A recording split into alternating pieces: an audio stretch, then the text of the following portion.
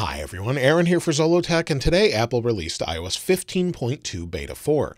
This is available to developers and hopefully soon to public beta testers, usually by the time you're watching this video is how they released it last time. Now this came in at 679.1 megabytes, that's on my iPhone 13 Pro Max, and it was between 400 and 700 megabytes on all the devices you have here, from the iPhone 6s Plus, iPhone 11, and iPhone XR.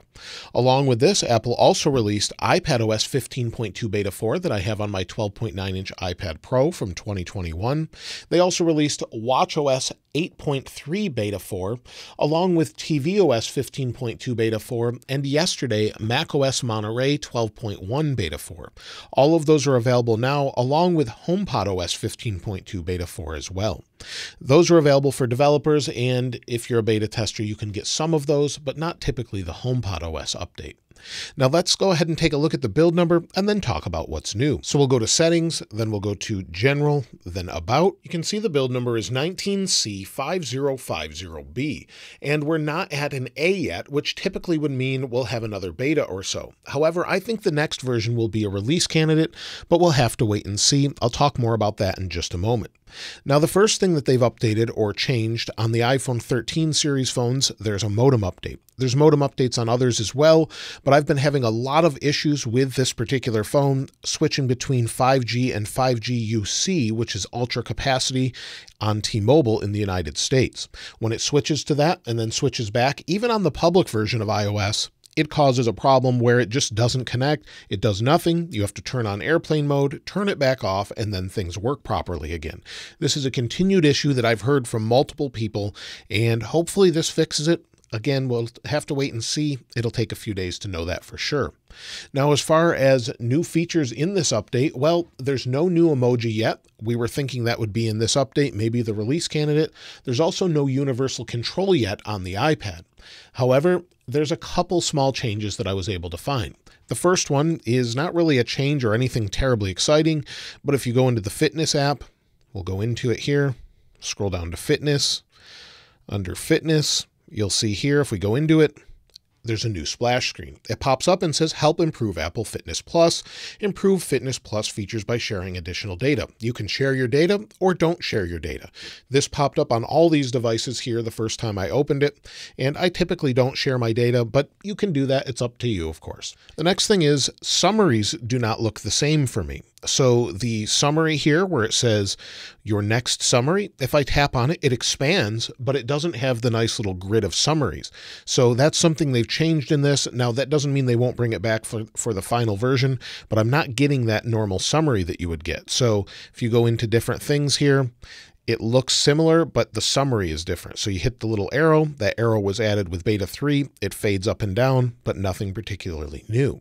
However, you are able to easily clear that summary now, where you hit the button, hit clear, and it goes away, where before it wouldn't clear the summary. So maybe there's some additional fixing they need to do to that, but it's showing that way now.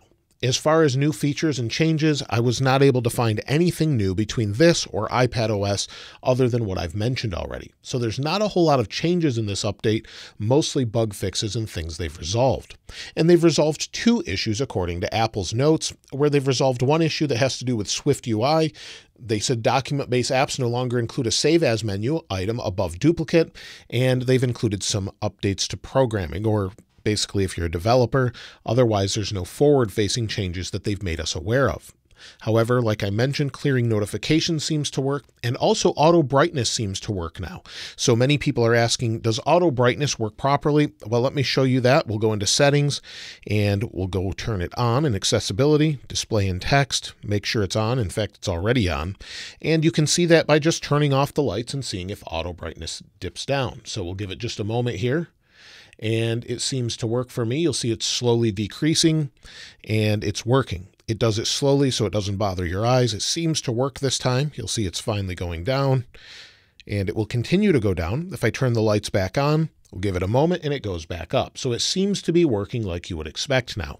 So that's a good sign. It did take a moment and initially it didn't work. I had to lock the phone, then unlock it and it worked, but now it's been working ever since. So it seems like auto brightness has been fixed along with True Tone. So for those of you using True Tone, if you want to use that, that does seem to work now. So if we go in and get out of accessibility here and go to display, then go to True Tone and turn it on, and maybe flip to a white background you'll see True Tone does work. You'll see the color shift.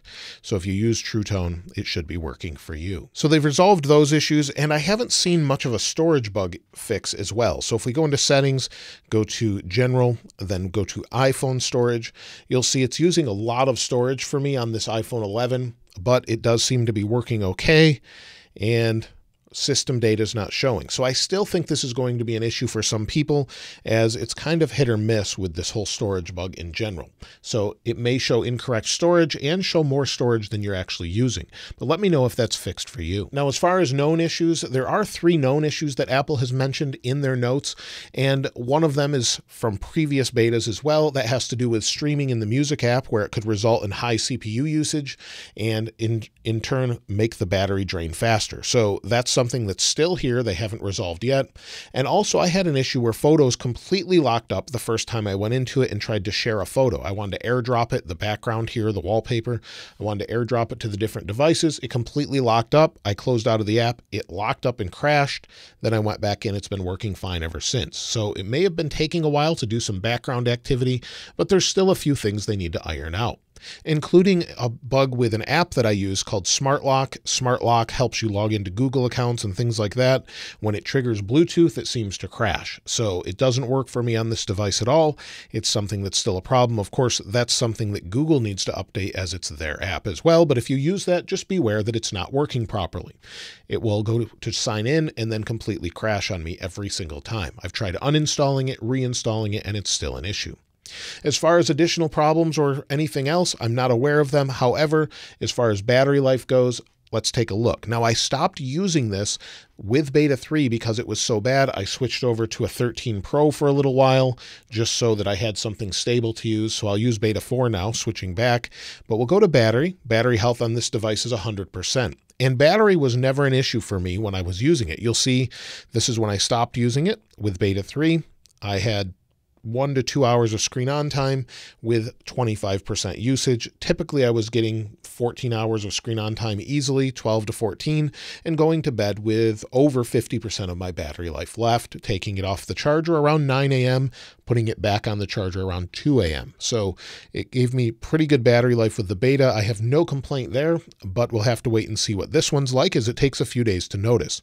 When you measure going from say 100% and measure how quickly it drains, that's not typically accurate. You have to let it drain and use it for a few days to know actual battery life and see how it's over time. Now, as far as overall performance, well, this does feel pretty smooth. However, I did have an issue on the iPhone 6s Plus. Typically, I'll use this when I first install it and go into different apps like music. This is the first time I'm opening music, and when I first booted it up, you'll see it was a little bit slow there. I went into Minecraft, as I typically check that to see how it is, and it seems incredibly slow for some reason. While benchmark scores are similar. We'll take a look at that in a moment. It did seem incredibly slow. Frame rate right now is okay, but loading was really slow and very, very choppy as far as frame rate goes. So something was going on in the background or something else where it was causing this to use a lot of CPU power. However, the back of the phone was not getting too warm. It seems like the heat of it overall is doing okay, but in general, it seems maybe a little bit slower. However, it seems smoother on the 13 Pro Max, but playing games on older devices seem to be a lot slower to load, at least in my initial test. When it comes to the Geekbench scores, I did run that like I normally do, and you'll see I had 1,717 for single core, 4,589 for multi-core. Compared to the previous version, you'll see here, December 2nd, December or November 16th rather, it's a little bit lower, and I ran this initially right after installing the update. Like I said with the iPhone 6s Plus, it slowed down a bit and then sped back up. So this can increase over time, but let's take a look at all of these devices. And as you can see from left to right, I have the iPad Pro, followed by the iPhone 6s Plus, then the iPhone 11, and then the iPhone 13 Pro Max. And again, these scores are a little bit lower than last time, but I would expect them to increase over the next day or so. Now that leads me to should you install iOS 15.2 beta 4? Well, if you're already on beta 3, then absolutely. However, if you're trying to solve an issue coming from iOS 15.1 or iOS 15.1.1, I would highly recommend against it. I get asked this question almost every single day, people wanting to know if they can solve an issue by switching to a beta. And I always say if you're trying to fix an issue, wait for the final release as betas are meant to have bugs. They're made to sort of figure out what's going on and then they release a final. Typically, we'll report issues into the feedback app, make sure Apple's aware of them. And of course, I'll be doing that with the bugs I've already mentioned to you, or if I haven't already.